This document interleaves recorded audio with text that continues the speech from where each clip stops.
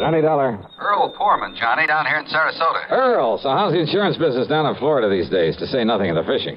Why don't you come down here and find out for yourself? But now listen. I'm listening. You remember how my home is situated out here on St. Armand's Key? Well, sure, I ought to. I've been there often enough. Uh, It's near the end of a long bayou that comes in from Sarasota Bay. Yeah, and the bayou is lined with expensive homes, private docks, and it's full of mullets, sea trout, sheepshead, flounder. So what about it? Johnny, what would you think if I told you I'd sold a man $50,000 worth of straight life insurance? Well, I think you were just doing your normal. Huh? Did you call to talk fishing or business? Listen, will you? Okay, what would I think if you sold a man a $50,000 policy? And? And then, three days later, just this morning, as a matter of fact, found his body floating under my dock. Oh, okay, Earl. I think I'd better grab the first plane I can. That's what I think. And not to go fishing.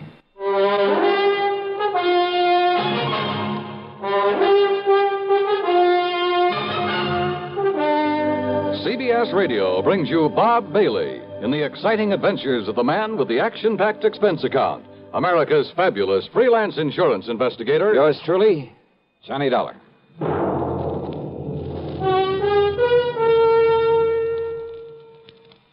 And now, Act One of yours truly, Johnny Dollar.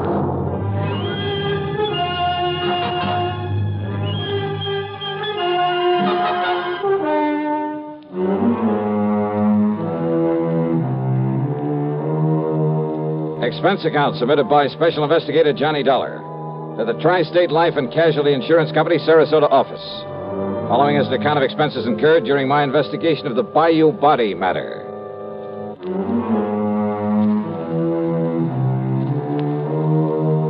Expense account item one, 7350, plane fare and incidentals, Hartford to Tampa, Florida. There I'd figured on getting a ferry plane to Sarasota, but instead Earl Poorman met me at the international airport with his car. Oh, Johnny, I'm glad you got down here so quickly. You realize I only phoned you about five hours ago? Yeah, Earl, I just finished my breakfast. Matter of fact, I called you before I even contacted the police. Then you probably aren't sure whether it was natural death or suicide or what, huh? Now, we'll find out what the police have found out when we get to Sarasota. You ask me, though, I think the old man simply went out on his dock this morning, had a heart attack, keeled over, and by the time he floated down to my place, he was dead. Who was he? Well, his name, Johnny, is Ralph P. Carter. He lives, rather, he lived in the fourth home up the bayou from mine. That new place that was just being built the last time I was down here? That's the one. He was a man of 64. Used to live in New York, where he had a business of some kind. But he had some heart trouble, so he quit and came down here to live and take it easy. Pretty well to do. Considering the house he put up, the way he and his wife lived, I'd say he was loaded. Matter of fact, I happen to know he was. Fancy car, private dock, Has nice a wife, you say? Yes, Uh huh. How old is she, Earl? about 50. Uh, you know what I was thinking, of course. What? Oh, if he'd been married to some much younger gal and having money and some insurance, uh, but you know. Huh? You were thinking his wife had knocked him over to collect on this policy I sold him? Such things have happened, Earl. Well, it didn't this time for several reasons. One. One, he already owned a couple of other policies issued by some company up north, big ones, totaling over 200,000. Hmm. Two, both he and his wife have so much in blue chip stock, so much in the bank that well, that 200,000 won't mean a thing to her. Funny third- then that he should buy 50,000 more from you. Third, Carter's wife never knew about this policy I sold him. Oh? No. Nor is she named as beneficiary of it. Who is? Hold your hat, Johnny. This is right out of the pulp magazines. What do you mean? The beneficiary happens to be a former stripper. Stripper? You mean from burlesque? That's exactly what I mean. Her name is Mitzi Taylor. She lives up in New York. I see. You know the uh, connection, Earl? Well, from what he told me when he bought the policy, well, I guess he'd known her pretty well in the old days, before he and his present wife got married. They were only married about three years ago, incidentally. Incidentally, huh? Well, what's that mean? Earl, I got a kind of funny idea cooking in the back of my head. About his wife, I mean. About his wife? Yeah, let's get on down to Sarasota and find out what the police have learned.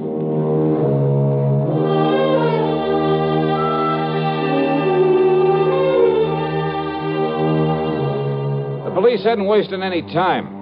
After recovering the body from the bayou, they'd immediately turned it over to the coroner, Dr. Phillips. Sergeant Edwards, who was in charge of the case, made us cool our heels until the coroner could finish his preliminary examinations. But Why an autopsy, Sergeant? You mean you suspect foul play, something like that? He was alone. He was unattended when he died, Mr. Poorman. That means an autopsy is mandatory. Oh. Hey, uh, tell me this, Sergeant. Do you yourself have any reason to be suspicious of how Mr. Carter may have died? You don't mind, sir. I'd rather wait until Dr. Phillips is through before we talk about it. Which means you did find something suspicious. I didn't say that, sir. Well, you might just as well have. Did you talk to Mrs. Carter? No, sir. What? It happens she isn't home. Then she doesn't know her husband is dead? Looks that way, doesn't it? Oh, come on. Now, wait a minute. Sergeant, that's a pretty evasive answer. Truth is, Mr. Dollar, it was meant to be. Oh, great, great. Then I can expect a lot of cooperation from this department. All we can possibly give you, sir. When we find out what we have to go on. Yeah. Earl, do you know if Carter had a regular physician? Uh, yeah, Dr. Theo Foote, Johnny. We've checked with him, Mr. Dollar. And? Mr. Carter's heart condition was such that he was ready to go at any moment, and without warning. What if you're suspicious of something else? Have I given you any real reason to be suspicious? Now, look, Sergeant, let's not Oh, uh, Dr. Phillips. Johnny. Johnny Dollar. Hiya, Doc. I might have known you'd be called in on this, Johnny. You certainly got down here in a hurry. Mr. Poorman, Hello, Coroner. Did you find out anything, Doctor? you were right, Sergeant. I've got a lot more work to do, of course, before making out my report on this case, but there's no question about it. Mr. Carter died neither from a heart attack nor from drowning. Oh? What did kill him, Doc? He was struck so hard at the base of the skull that death must have been instantaneous. Murder, Johnny. And without question, the murder weapon was the wrought iron poker that you found there in his home. No reason for suspicion, Sergeant? Thanks, Doctor. I'll get out an APB on Mrs. Carter right away. I think you'd better. And, Mr. Dollar, I'm afraid you'll just have to wait around until we pick her up. You, uh, want to bet on that?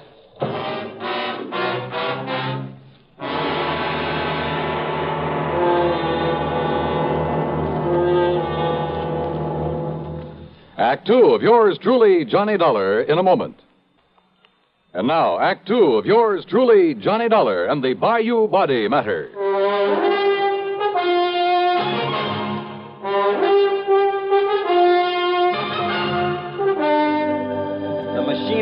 Operation, Mr. Dollar, and as soon as we get any word as to the whereabouts of Mrs. Carter, we'll let you know. Yeah, thanks a lot. Earl, just how much did you know about Carter and his wife? Well, you know how it is, Johnny. There was some talk about their not getting along too well, but. I've thoroughly investigated, Mr. Dollar. They fought like cats and dogs. Well, now, I wouldn't go so far as to say that. At times, that is. At times. According to the people next door, they had quite an argument just last night. Oh? At one time, according to these people, she hollered at him, I could kill you, Ralph. I could kill you. Yeah, well, that's not proof that she did. No? Then why would she Well, say it? haven't you ever told somebody you'd like to kill him? Well, saying I'd like to, or saying I could or would are two different things. And look here, sir. If she didn't do it, then why would she hightail it out of town early this morning? All those neighbors reported that she did? Yes, sir. She drove away from their place at approximately the same time as the coroner says he was killed. Well, let's face it, Johnny. The sergeant must be right. She must have done it. No question about it, Mr. But Dollar. why? What could her motive have been? Who knows? Could have been most anything. Now that we know there was friction between them. And what about his money? She stands to be worth an awful lot with him out of the way.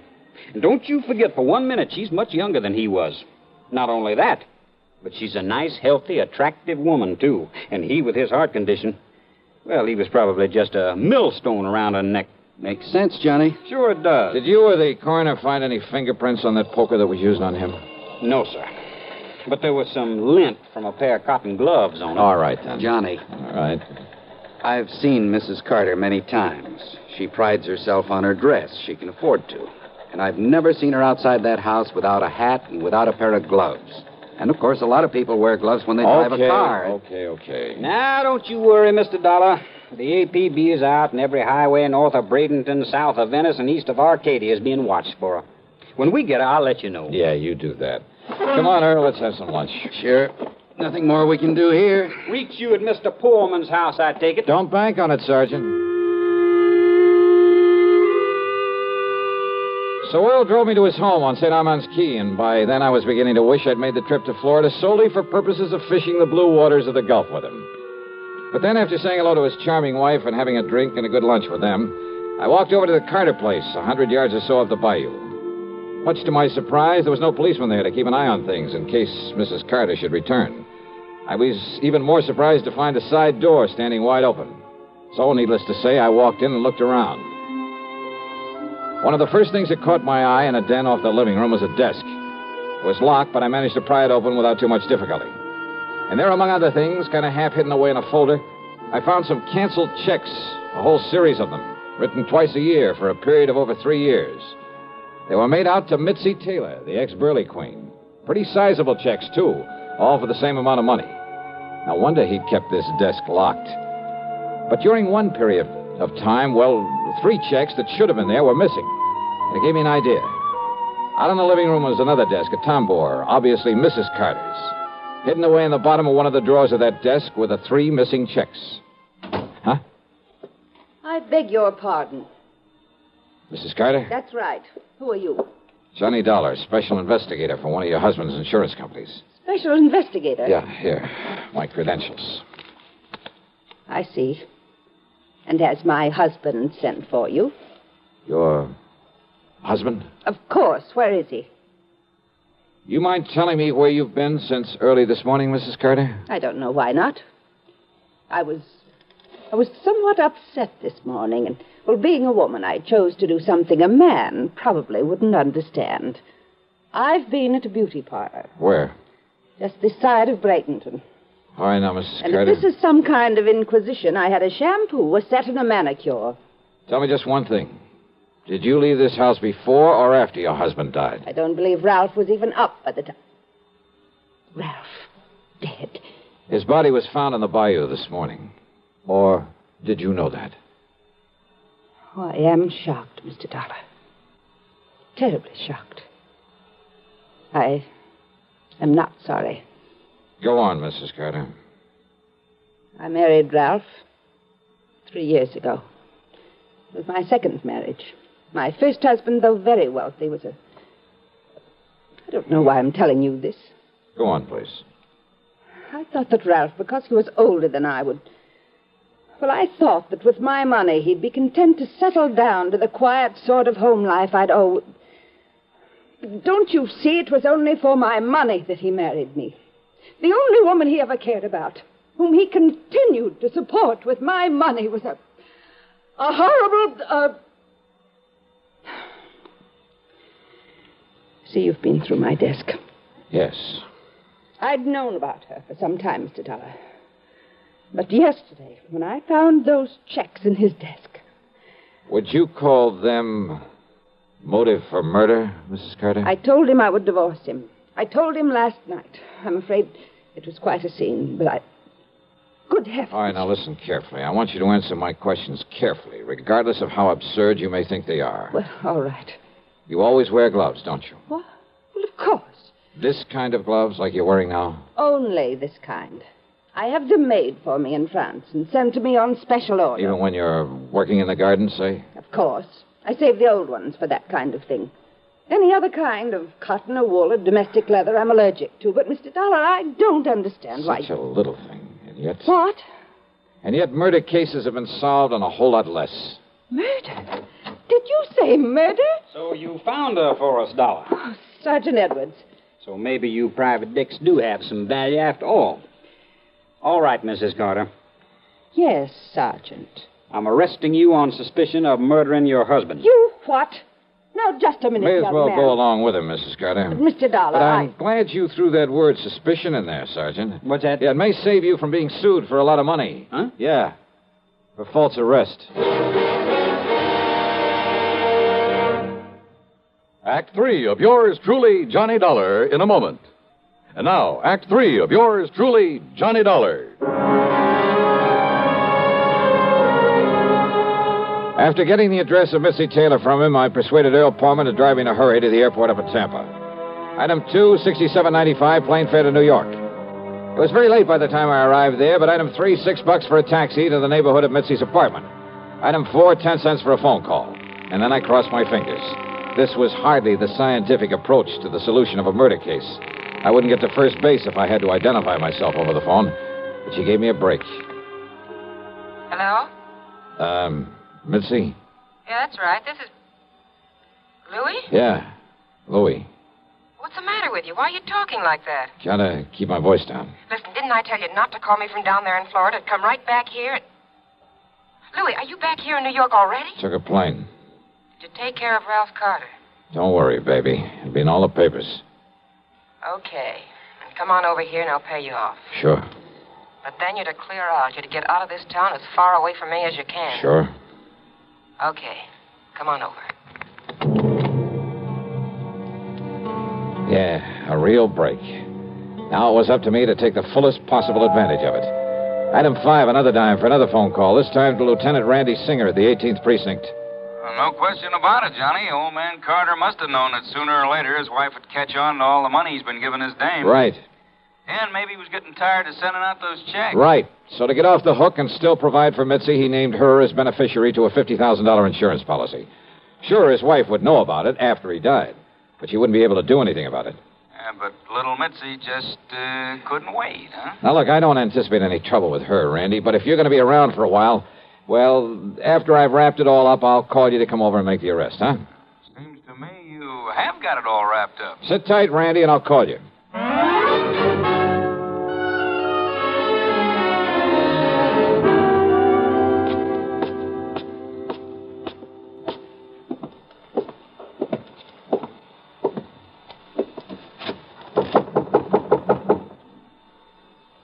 Yeah, who is it? Louis.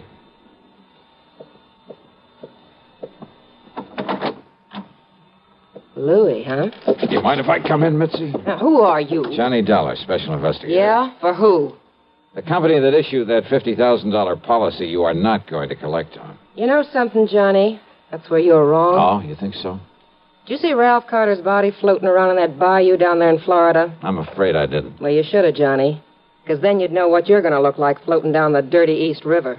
Sorry, Mitzi, but, uh, hey, wait a minute. How did you know Carter's body was thrown into the bayou? You took too long getting over here, Johnny, after that phony phone call. Come on in, Louis. Take care of him. What? One move for a gun and I blow your head off, mister. Go ahead, Mitzi. Take his gun away. Okay, I've got it. Now keep it on him while I take him apart so we can feed the fish out in that river. No, wait a minute. Huh? We'd like to close the door to the corridor so that. What? That's right, Mitzi. Don't bother. Cops! The cops! Drop it, Louis!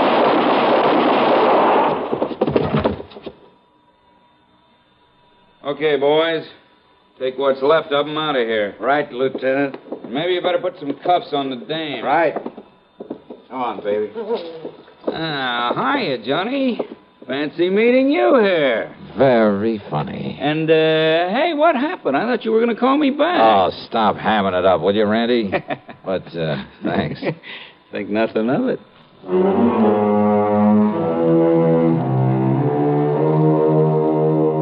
Louis managed to survive, and I understand that the way he shut up his mouth in the hospital, well, I understand he pretty much cinched the case against both himself and Mitzi. So, expense account total, including a big midnight supper for Randy and myself and a train back to Hartford, 168.65. Yours truly, Johnny Dollar.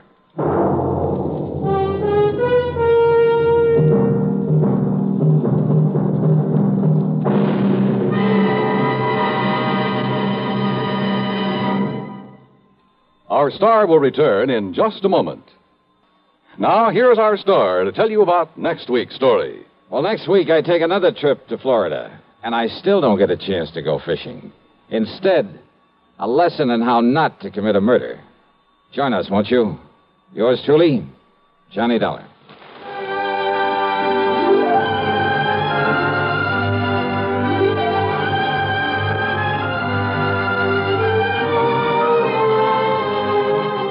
Yours truly, Johnny Dollar, starring Bob Bailey, originates in Hollywood and is written, produced, and directed by Jack Johnstone.